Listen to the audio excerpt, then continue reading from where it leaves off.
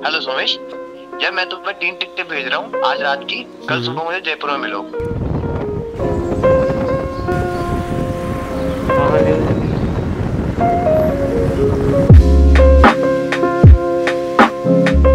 तो भैया छः घंटे की थकान भरे सफ़र के बाद जब हम गुलाबी नगरी यानी पिंक सिटी पहुँचे तो हमारा स्वागत कुछ इस तरह हुआ।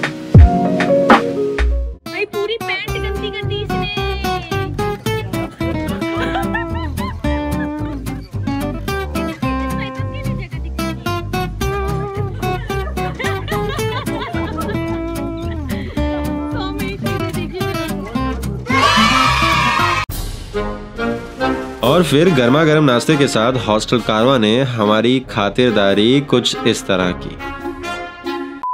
तो जैसा कि आपने देखा कि आज का सनराइज बड़ा ही मतलब धमाकेदार था तो हम लोग होप करते हैं कि सनसेट भी हमें धमाकेदार ही मिले। अभी फ़िलहाल तो हम पत्रिका गेट पे जा रहे हैं तो पत्रिका गेट के बाद देखते हैं सनसेट कैसा होता है।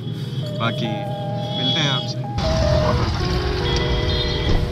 तो हम लोग, पत्रिका गेट आ चुके हैं और देखते हैं क्या होता है। आज तो बहुत ज़्यादा भीड़ भी लग रही है।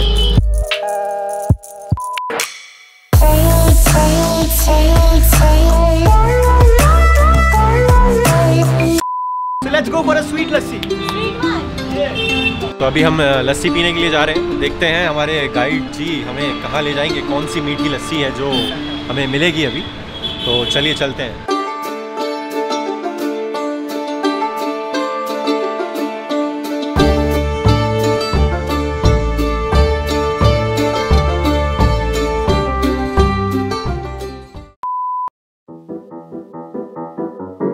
भैया, दोपहर होते ही हम ओल्ड जयपुर की एक पुरानी हवेली की तरफ़ चल पड़े ताकि उसके रूफटॉप से हम काई पोचे चिल्ला सके।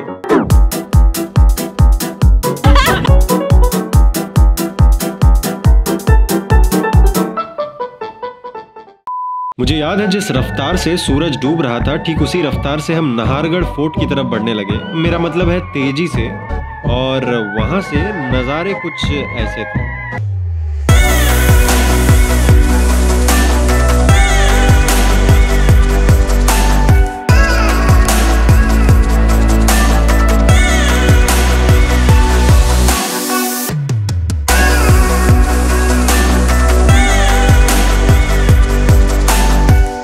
तो भैया 24 घंटे की भागदौड़ के बाद हमने अगले दिन हॉस्टल में ही आराम फरमाना सही समझा Get up, stretch my legs.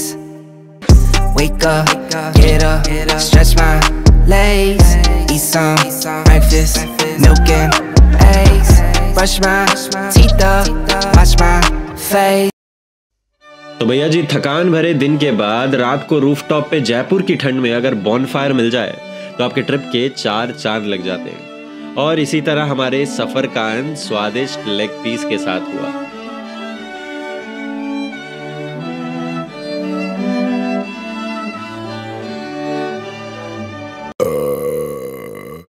तो भैया, ये ब्लॉग एडिट करते करते सुबह के साढ़े चार बज गए हैं। बाकी आशा है आपको व्लॉग पसंद आया होगा।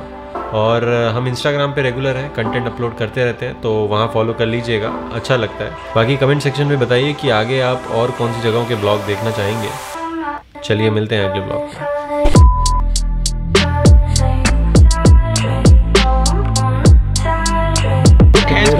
देखा इनको तेरी।